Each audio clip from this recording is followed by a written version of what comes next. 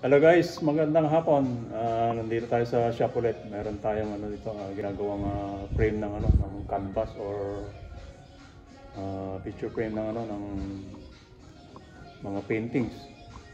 So, ipapakita ko sa inyo kung paano ko ginagawa yung ano, yung frame niya.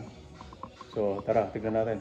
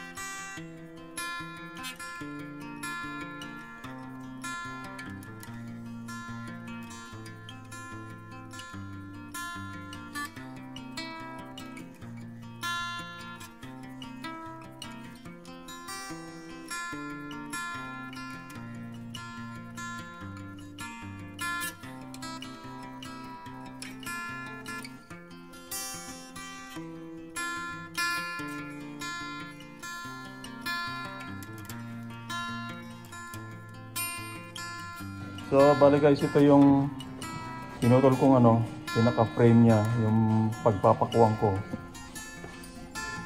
Yan. Bali, ang lapad nito ay 3-4, tapos ang thickness niya 5-8. Yung thickness niya 5-8. So, ang ginagawa ko, minamarkahan ko siyang ganyan. Pinag-share ko, paikot. Yan. So, mamarkahan ko siyang ganun. Yan. Yung apat na side. Ito. Apat na side.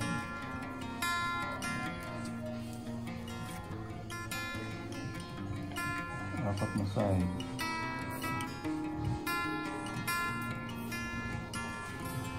Yan. So yung marka na yan magiging ah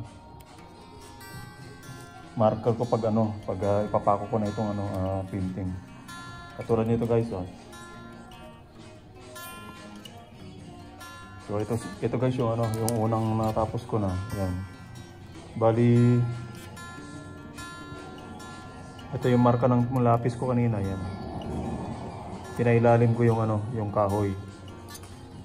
So, din ko, doon ko siya ina-stapler. Yan. Meron siyang panito guys, uh, meron siyang frame na malapad. So, yun ang papakita ko sa inyo pag ano, pag uh, natapos ko. So, for the meantime, uh, naglalagay muna ako ng ano, panigas para ma maunat siya. Yan siya guys. Oh. Ayun yung isa. Okay guys, tuloy natin.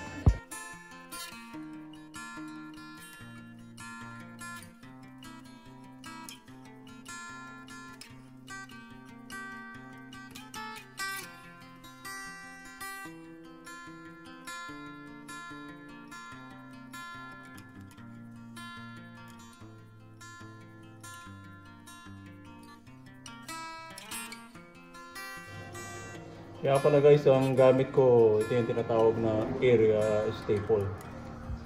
Ang bala niya ganito. Ang stapler, pero ano siya, hangin. Gamit namin hangin, compressor.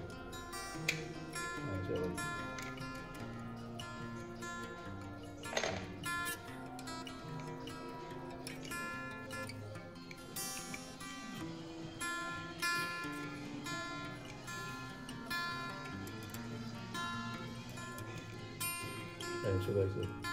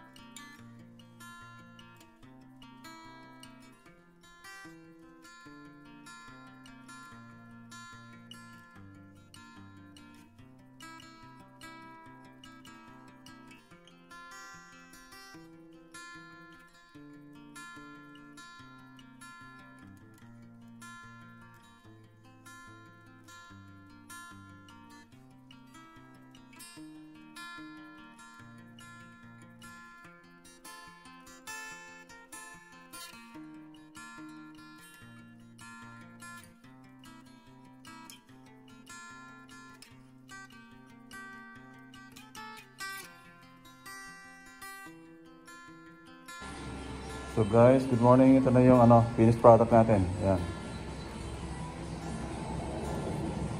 Bali, varnish na lang yung ano, stain tapos varnish na lang ang gagawin natin dito. So, ngayon, nililiha ko muna. Yan. Ito yun yung pinaka-simpleng design.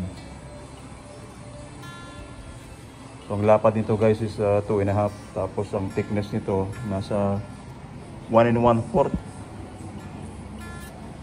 Tapos yung likod niya, ito makikita niyo meron siyang cut.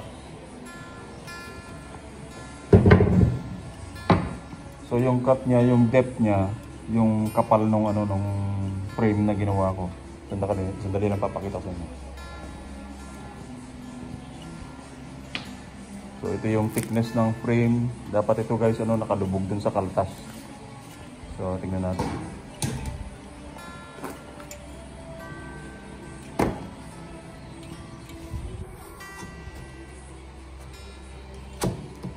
Ayan siya guys.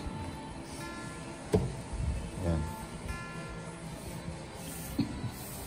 So lubog siya, flush siya dito, flat.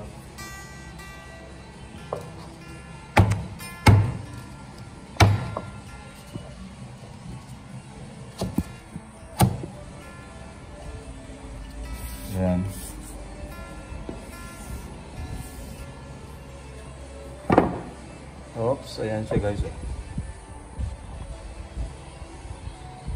Simple pa, pero maganda tignan. Ayan.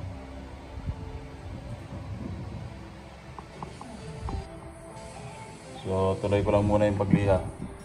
Pinakita ko lang para makikita yung finish niya pag ano. Nangyari na siya. Okay, so tanggalin ko muna. Kaya pala guys itong kapal nung stick na ginawa ko dito. Bali 5.8 lang siya. 5.8. 5.8 tapos dito 3.4. 3.4 itong kanya lapad niya.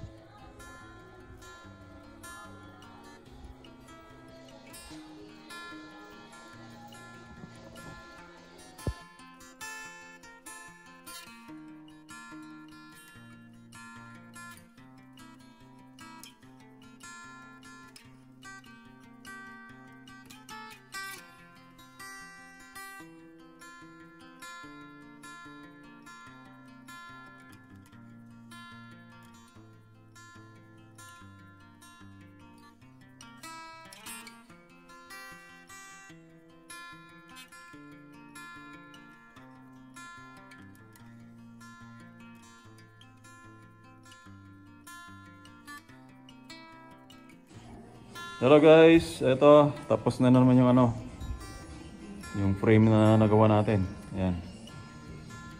Ito na yung mga natapos natin ng nakarang araw. Sim simpleng mga frame lang ito. Yung mga design niya puro padaan lang yan sa ano sa lagari. Nakikita niyo sa ano sa time lapse. Ang stay niya ano uh, tawag nito yung, yung cherry. Cherry wood stain. Tapos oak yung kahoy. Tapos ang lapad niya bali 2 and a half inches. Tapos dito yung thickness niya bali 7-8 so uh, yun. Groove lang. Yan guys oh. so pinako ko lang siya. Makikita nyo na lang sa time lapse